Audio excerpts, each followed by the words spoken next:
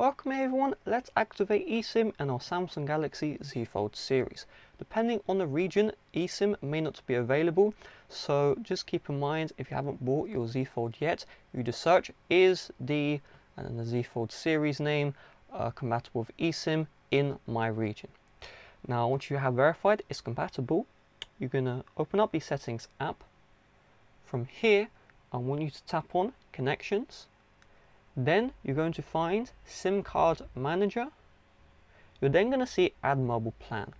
Keep in mind if you have dual SIM like I do, physical dual SIM, then SIM 2 will not work if you activate eSIM.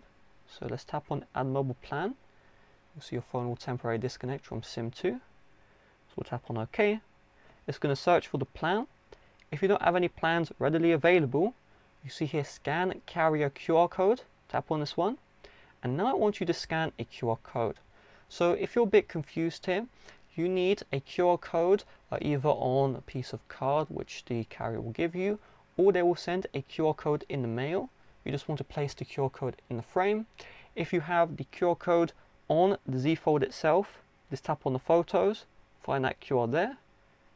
Uh, if you have activation codes instead, enter in the activation code which the carrier has provided you. Once that's done, eSIM's going to be activated and you'll be good to go. So with that being said, thanks for watching. See you guys later. Bye bye.